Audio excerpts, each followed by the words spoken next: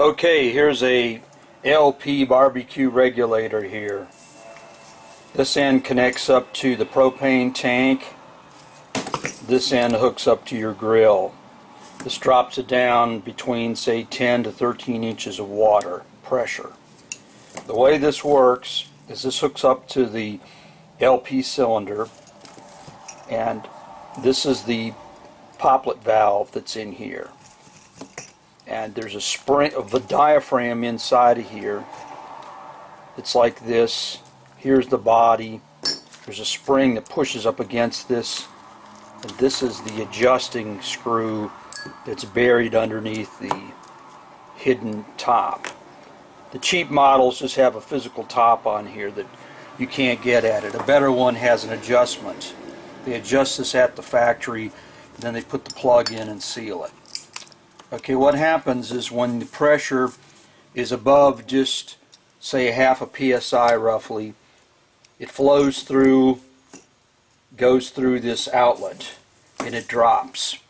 Drops because this valve is sitting here regulating. The spring pushes on the diaphragm, and that keep limits the pressure.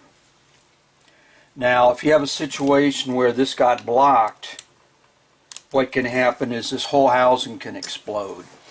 So to prevent that, there's a secondary spring here, which is a safety spring. what that does is that if this is blocked, the full pressure would be from the LP tank would be inside this cylinder, and it's going to push this forward, and it's going to bottom out on this piece, and like this here, it's going to hit this and then release through the hole, the center.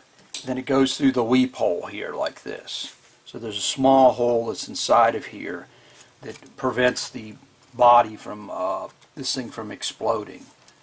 And that almost never gets used, but if you did block this off, you wonder why is this just not going to explode. There's a, this is this check valve in here that basically it's overpressure. If the diaphragm goes over, it's going to go through and push this and hit the uh, adjustment on here and then leak through that hole, go into the other side of the body, and then come out this little hole here. But normally what happens is the diaphragm's on here, the spring, this lazy spring is pushing on this, and it's going through and adjusting this little valve that's in here like this. That regulates the flow.